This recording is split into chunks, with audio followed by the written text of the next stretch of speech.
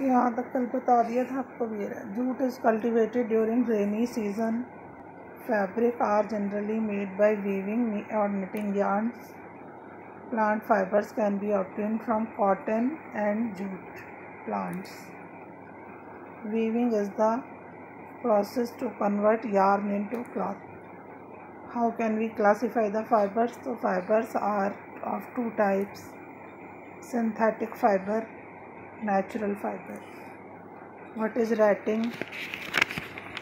तो रेटिंग का आंसर ये रहा of separating fibres from jute plant retting इससे अगला स्पिनिंग पूछा है। प्रोसेस ऑफ़ स्पिनिंग हेडिंग डाल लेंगे, फिर लिख लेंगे, ऐसे इसमें रेटिंग हेडिंग डालेंगे। Process of twisting the fibres to make yarn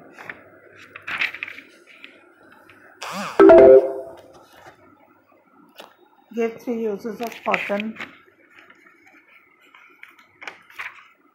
ये रहे आपके three uses of uses of cotton heading डाल के, ये पूरा लिखना है यहाँ से।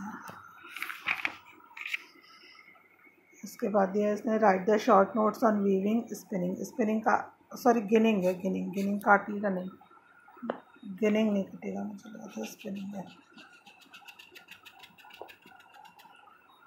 तो यहाँ से ही लिख लेंगे आप। ठीक है ठीक है। ये वीविंग तो यहाँ से वीविंग ये पूरा वीविंग का हो गया जीवन, और ये गिनिंग का हो गया। गिनिंग लिख लेंगे। ठीक है। अब इसके बाद आया आपका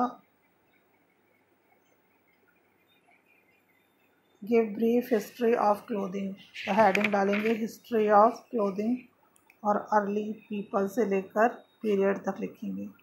फिर है यूजेस ऑफ़ जूट ये जो यूजेस ऑफ़ जूट हेडिंग डालेंगे ये पूरा लिख लेंगे। ये हॉट्स काट देंगे, बहुत हो जाएँगे क्वेश्चन आंसर ठीक है? Now the chapter is completed